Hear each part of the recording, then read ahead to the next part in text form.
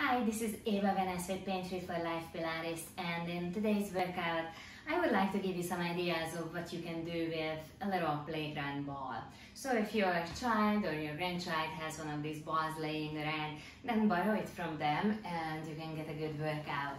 So first things first, we're gonna take a seat on the mat and we bring the ball mm, behind our back, just below the shoulder blades, just where our bra line is. And then from here, we're gonna just lean back on the ball and open up the chest and circle our arms around. And then lift the head and the chest. Come up to a seated, a little bit more upright position. And then let's reach back again. Rest the head on the mat. Open your arms, draw a big circle. When you sit up, be sure to engage the neck muscles and engage the core. Let's do this a couple more times. We're just getting a little mobility in our neck, shoulders and thoracic spine. And let's do this one more time. Okay. Hmm, then lift your knees into tabletop position and hold onto your lower legs. Take a deep breath. On your exhale, extend your arms and your legs out. Draw a big circle with your arms and come back to where you started. Take a deep inhale again. Hmm, then on your exhalation, extend the arms and the legs out.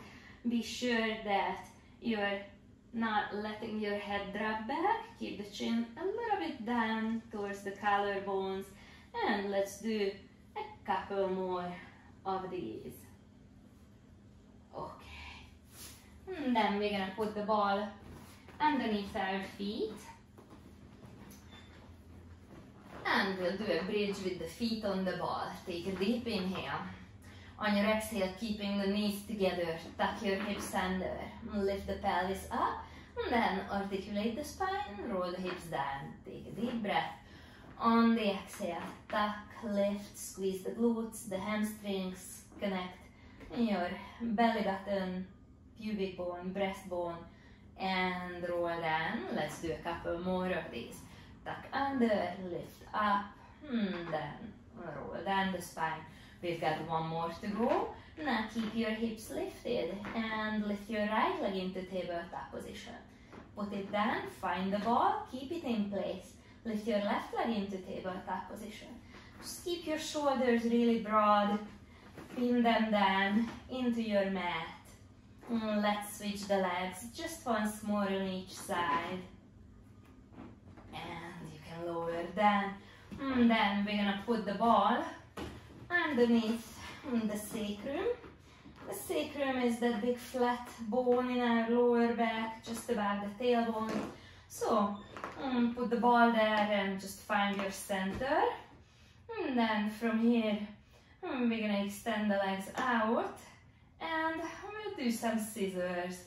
First, we just explore and see what it feels like, how much instability the ball gives our body.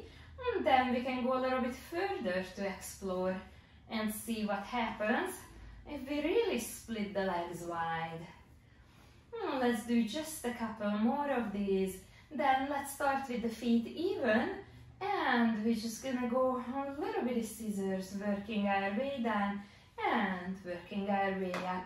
This time I'm only going just halfway and then back up and halfway down, all the way up. Let's do this a couple more times, halfway down, bringing the legs back up towards the ceiling. Just press the back of the legs into the air and bring them back up. Then bring your heels together, toes apart, frog legs. Then from here, extend the legs out, split them, and bring them back together. Bend your knees, take an inhale. On your exhale, open the legs, nice wide split, and then bring them back together. And split, and then and draw them together. If you further want to challenge yourself, you could even oh, lift your arms over mm, the head and that really throws the balance off. Okay, oh, let's go just for a couple more. And the last one. Okay, hold the legs hmm, tabletop position. Then we're just gonna open one knee to the side. If you want, you can put your fingertips on your lower abdomen and you're going to feel those muscles engage. On your inhale, open your knee to the side. On your exhale, firm up those muscles and use them to bring your leg back into tabletop. Let's just do this once more on each side. Hmm, and we're gonna get the ball out of there. Hmm, and then uh, let's come on up and we'll continue on our knees. Let's put the ball in between hmm, the lower leg, the calf and the hamstring. And let's just pray that it stays there. Take an inhale. On your exhale, lift your leg up and bring your hip into extension, meaning that the front of your hip will flatten.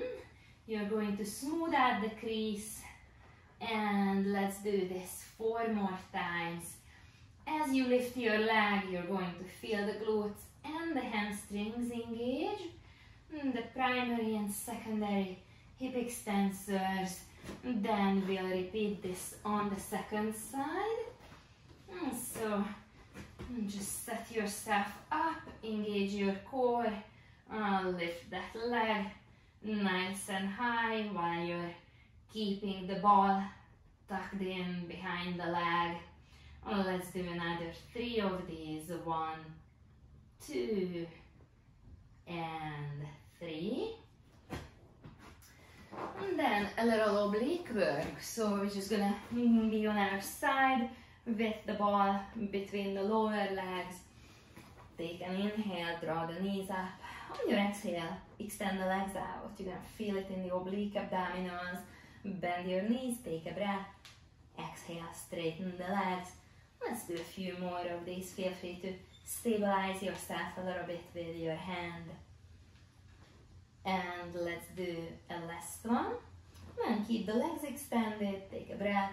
On your exhale, lift the legs up and away from your mat using the oblique abdominals. Let's do just a couple more of these. And hmm, then we switch to the second side. So first we draw the knees up, take a breath. On your exhale, extend your legs out. And we're just gonna mm, go back and forth like this, keeping our waistline engaged. And flatten the lower abdomen, connect the breastbone, the navel, the pubic bone. Let's do this once more. Then keep your legs extended, inhale. On your exhale, and lift them up towards the ceiling.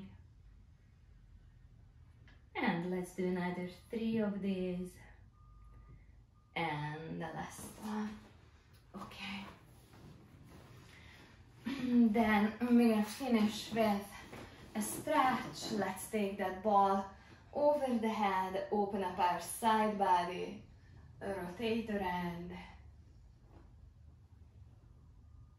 And one more time. Hmm, then change the legs. Let's do this on the second side. Reach over the head.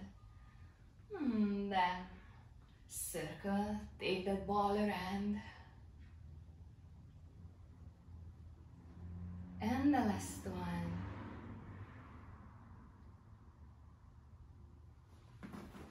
Feel free to increase the repetitions so your workout is a little bit longer or just use these ideas as a mini workout at the end of a busy day. Hope you enjoy.